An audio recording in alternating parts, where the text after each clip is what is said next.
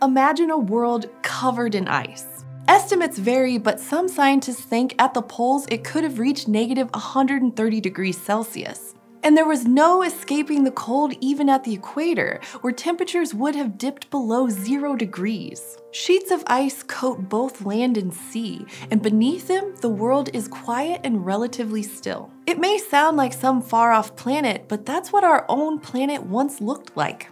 And actually, it happened twice during a pair of episodes of intense glaciation between 716 and 635 million years ago. These global freezes occurred within the period of geologic time known as the Cryogenian, or time of ice, but most people refer to this chapter in our history simply as Snowball Earth. So, how did this happen? How did the world become covered in ice? And most importantly, for us, why did the planet eventually thaw again?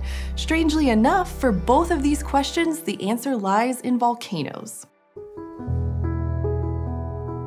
Evidence for Snowball Earth is written on every continent today. Since the early 1900s, scientists have been finding clues all over the world in the form of drop stones. These are rocks and pebbles that were picked up by glaciers as they moved across the land.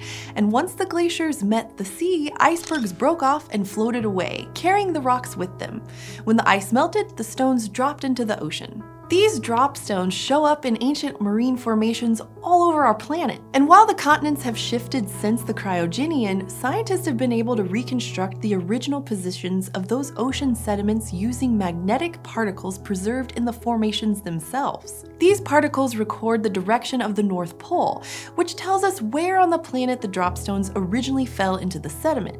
And when you reconstruct where these dropstones were deposited, you can see that they stretched from the poles to the tropics, which means ice did too. Now we know that this extensive glaciation actually happened twice, between 716 and 635 million years ago. The first episode started 716 million years ago and lasted for about 36 million years. And the second lasted from about 650 to about 635 million years ago. Now, there have been glaciers on our planet before. In fact, we still have some now.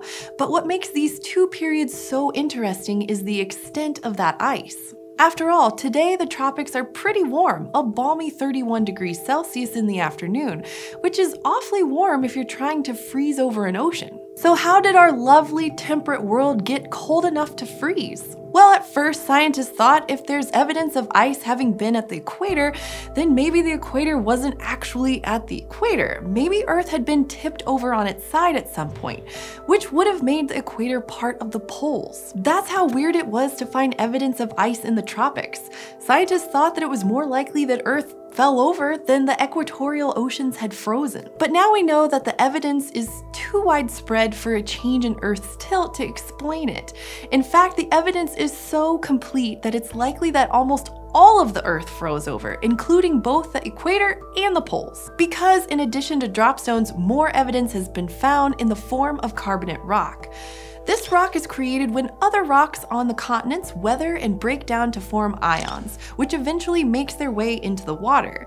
When those ions attach to dissolved CO2, they join together to form carbonate. And studies of ocean sediments all over the world have found that during parts of the Cryogenian, these carbonate rocks disappear.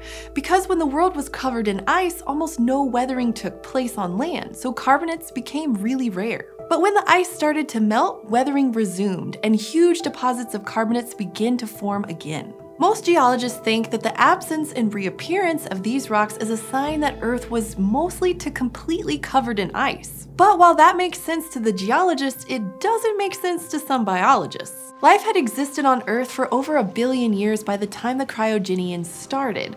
And organisms like photosynthetic cyanobacteria and even animal life like sponges had evolved before the ice sheets grew, which raises the question of how early life could have survived under the ice. Some scientists have suggested that there must have been a fair amount of open, unfrozen water at the equator for life to persist. This model is called slush ball Earth, but it doesn't line up with all of the geological evidence. So yet another hypothesis is that there was ice everywhere, but that it was thin enough in places for light to shine through and to allow photosynthetic life to survive. Studies of modern cyanobacteria in Antarctica suggest that life may have even thrived on top of the ice sheets themselves. But whether it was thick ice or thin ice, the ice was abundant. So then, why did these massive glaciations actually happen in the first place? Well, the most popular theory is that our planet's thermostat just failed. That thermostat is the carbon cycle, the swapping back and forth of carbon between the atmosphere and the Earth's crust. And it starts with volcanoes, which over the course of thousands to millions of years gradually emit CO2 into the atmosphere, where it helps keep the world warm. But CO2 levels are kept in check because that gas gets stored in carbonate rocks from the process of weathering. So volcanic emissions and rock weathering are the two counterbalances that keep Earth not too hot and not too cold. But in the Cryogenian, an early supercontinent known as Rodinia messed with the thermostat by breaking up. Breaking up is hard to do, and rocks usually do it pretty violently. But the breakup of Rodinia was especially intense because it pumped out a lot of a volcanic rock known as basalt. And basalt is really, really good at soaking up CO2 in the process of weathering. Plus, Rodinia was sitting at the equator at the time, where it was warmer and wetter, which weathered the rock even faster. So scientists think that this could have thrown off the carbon cycle, soaking up CO2 faster than volcanoes could release it. And there was another contributing factor, the sun. During the cryogenian, the sun was actually about 7% dimmer than it is today. Now, that doesn't sound like a lot, but it was enough that once the levels of CO2 dropped, it was so cold that glaciers started to grow. And in the last few years, scientists have discovered yet another driving force behind this phenomenon, a truly massive and spectacular eruption that took place 18 million years before the glaciation even started. Today, the remains of that eruption are known as the Franklin Large Igneous Province, more than a thousand square kilometers of basalt lava that cover the Canadian Arctic. But what sets these rocks apart from others is that they were full of another planet cooling gas, sulfur. When you pump sulfur into the air, it cools the earth, but normally it doesn't do it for very long. Sulfur dioxide interacts with the water in the atmosphere and forms acid rain, typically leaving the atmosphere within a couple of years. But these eruptions weren't made by your standard volcanoes. Instead, they sprayed out huge jets of lava called fire fountains, which could have erupted for years, spraying plumes of sulfur gases up to 12 kilometers into the atmosphere. And that high above Earth's surface, near the stratosphere, sulfur dioxide would take a lot longer to break down and to rain out. So low CO2 levels let things cool down, and a dimmer sun didn't help. Then suddenly, 716 million years ago, vast amounts of sulfur dioxide may have been the final blow to Earth's thermostat, and ice began to form. The second glaciation may have had similar causes, but it isn't as well dated or understood as the first. But for both episodes, the real problem came when the ice started to grow. Ice reflects more light than water does, which makes the world cooler, which makes more ice grow, which makes the world even cooler, and so on and so forth. This feedback loop is called a runaway icehouse effect, and scientists who have modeled this process found that once our planet had ice below about 30 degrees latitude, the latitude of modern day New Orleans, the growing ice was basically unstoppable. So why are we not still stuck on a world that's basically Hoth? Because of our old friend carbon dioxide. Rodinia didn't stop splitting apart just because it was covered with ice. As it kept breaking apart, volcanoes kept forming and releasing CO2 into the atmosphere. But this time, because the planet's rocks were mostly locked beneath ice sheets, they weren't able to absorb all that greenhouse gas, so instead it began to build up in the air.